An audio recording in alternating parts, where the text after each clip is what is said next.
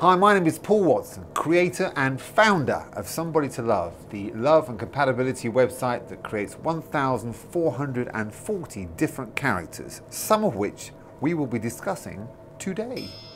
Now, I feel a little guilty saying this, but they are kind of the king and queen of Z-list world, but Chantelle and Alex Reid are actually two very, very nice characters. And I said it here at least two, three months ago. Watch those two because they are 80% compatible. It's fantastic. And if they don't get married, I'll be mildly shocked. Two Leos together, beautiful because they just look in the mirror and go, You're beautiful. No, no, no, you're beautiful. It's a vain face off, but they love each other. Chantelle's a pig, Alex is little hare, that's 100% compatible. Chantelle's a water element, Alex is a wood element, that's 100% compatible. It's beautiful. They should actually have about 124 children. It's that good. So let's see what happens. But I said three months ago they'll get married, and I still maintain they either should and or probably will. Happy birthday, Fearne Cotton! 30 this week.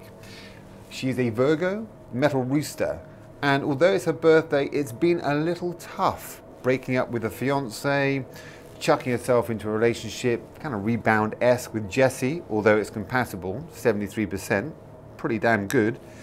And this year is going to continue to be quite tough because it's the year of the hare this year. She's a rooster, and any rooster in the year of the hare kind of struggles a little bit because they're each other's nemesis. But the great news for Fearne is next year, amazing. Not only that, 2013, even better. So Fearne, all you got to do, enjoy your birthday and rest in the knowledge, chill out in the knowledge that 2012 and 2013 are amazing for you. Jedward, twins. What's that all about? Now, the interesting thing with twins is the elder one, which we know to be John, and in any twin case, the elder one tends to be the most assertive, the stronger, the more extrovert tends to be a psychological thing. They're first born, they're slightly older, they feel protective of their younger brother. And again, this is the case with John and Jedward. He's the stronger character. But as characters themselves, they're Libran metal goats. That is as odd and as mad and as complex as it gets. Libra, incredibly strong. Metal element, incredibly strong. Goat, weakest animal there is, very, very fragile.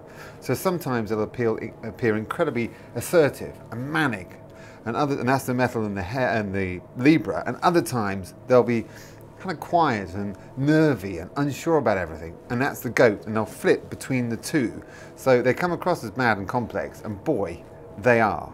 Now in the Big Brother house, there was this, I don't know, fake wedding, and John and Amy, John of Jedward, and Amy will kind of get a little bit cozy.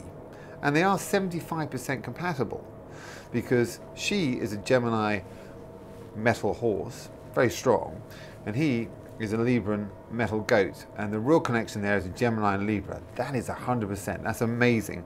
So, you know, you never know where that might lead. Amy herself, well, she's not the brightest little thing on planet Earth, let's be honest about it.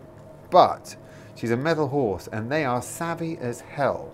So she's Gemini, mad, skitsy, bonkers, Essexy, and everything else. But the metal horse, it knows exactly what's going on, knows exactly what it's doing. Do not underestimate Amy Childs. She's not the brightest, she's not the most intelligent, she isn't going to be the next Pulitzer winner, whatever you want to call it, but she knows what is going on. And she may even end up marrying John of Jedward. And how mad would that be? Big news. Will Smith and Jada Pinkett Smith. Well, it's rumoured that they may be splitting up, but then they're denying it. So, let's have a closer look at them. They're 50% compatible. Will is a Libran earth monkey. Cool dude, smooth just as he comes across. Jada, a little more complex, Virgo metal pig. Now where this one could be brilliant and in which case they will stay together, is on the metal pig and the earth monkey. That's beautiful. That's virtually 100%. However, where it could go wrong is the Virgo Libra. That is a shocker. It's appalling. It never works. So if they stay together, it's because of the pig and the monkey. And if they split up, it's because of the Virgo and the Libra. But we don't know. So let's wait and see.